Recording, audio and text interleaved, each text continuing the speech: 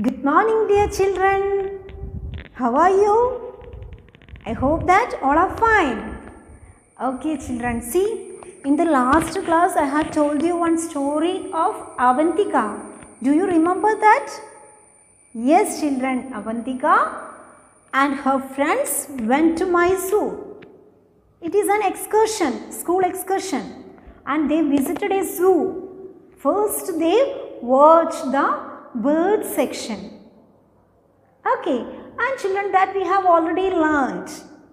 And children, in that uh, zoo, Mysore Zoo, after watching these birds, this group of students, Avantikas and her friends, walked inside this zoo. And at, after some time, they reached nearby a pond. That time, one of her friends told that, Avantika, look there. Here is a beautiful swan. Swan. See, children, here you can see its picture. Swan. Ah, it is known around the world for its beauty. It's a beautiful bird and its elegance and grace. Okay, and children see, ah, that swan is, is taking one fish in water. Okay, using its beak. That time they think that why this swan can swim in water? Swan is a bird, no? Why all the birds cannot swim in water? Do you know that answer? Do you think about that? All the birds can swim in water? No. Some birds only can swim in water. A particular speciality is in their body. Then only they can swim in water. Which are the specialities that the bird can swim in water? The first one is children webbed claws. See the claws? Its leg part webbed claws and spoon like beak. See the spoon like beak? Ah, these are the peculiarities in their body. These types of birds only can swim in water and they have a ability to dive in water surface. Okay, and they can use their legs to feed in water. Okay, children, so these types of peculiarities that is occupying in a bird, then only they can swim. Okay, children, that is about swan. And children, this swan is a uh, bird that eat water plants. Water plants, swan. And its beak is long and flexible one. Long and flexible one. Okay. And children, here you can see another picture. See, do you know this picture? It's not a common bird. Its name is children Archaeopteryx. It's a special uh, category of birds, animal. Archaeopteryx. Actually, it is an animal that live on earth and that have the qualities of birds and reptiles. That is the important thing. Archaeopteryx is an animal that live on earth and that has the qualities of birds and reptiles. Okay, and they have teeth in their mouth and they have a long tail with feathers. See that? They have a long tail with feathers. That is Archaeopteryx. Okay, children, clear? And children, after seeing this one, they move, move to the next section. Next section. That time, in one cage, Avantika and her friends saw that one eagle, you know eagle? One eagle is eating a rat. See, one eagle is eating a small rat. See children, do you see that? Okay children, and some birds use their claws. See the eagle claws, claws, C L A W S, toes and claws. Okay, and see children, in this picture you can see that eagle claws and toes are different from other birds toes and claws. That is entirely different from other birds toes and claws. Okay, and children, this eagle is used its claws to catch and hold the prey, to catch the prey, catch the rat and hold the rat and they can eat easily. Okay, and also this uh, eagle using their claws for climbing on trees, toes for climbing on trees, digging. For all these purposes, this eagle is using its claws. It's very sharp one. Claws are very sharp one. Uh, these type of birds we can call it as children preying birds. What is that? Preying birds. P R E Y I N G. Preying birds.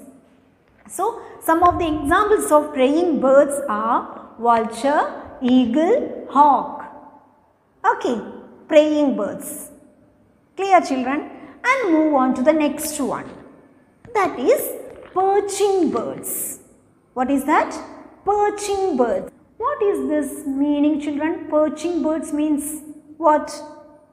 Yeah, children, a bird feet is adapted for perching. Perching bird means a bird with feet adapted for perching. Perching means children, it's a temporary resting place.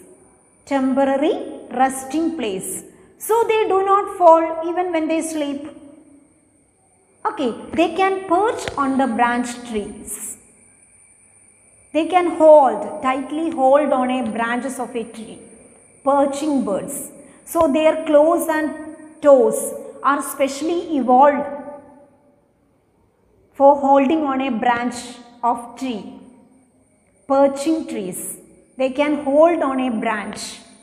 Okay, examples are sparrow, crow, sparrow and crow. These are the birds have perching toes.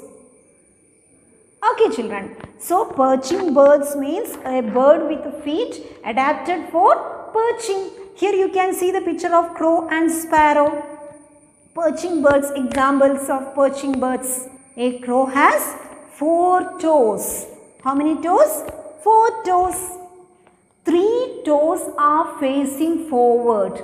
Here you can see that a crow is sitting on a branch of a tree. Three toes are facing forward. One toe is facing backward. In like that way. Crow is sitting on a branches of a tree. So it is a perching bird, same as sparrow also. Clear children? Okay, next one children move on to another one that is climbing birds.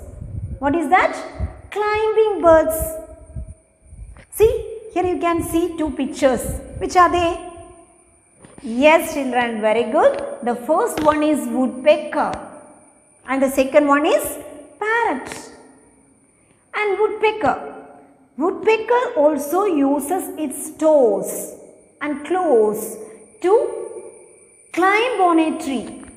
To climb on a tree. Okay. And how many toes does a woodpecker have?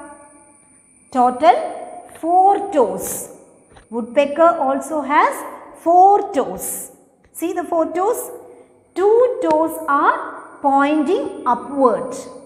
2 toes are pointing backward.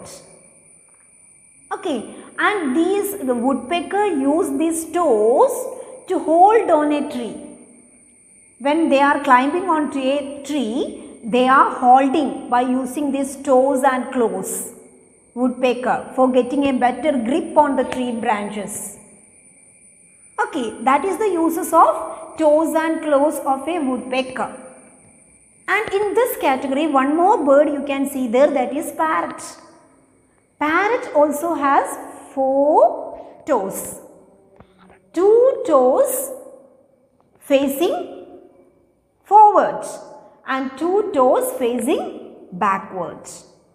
And these toes also used in parrots for climbing on the trees. Clear?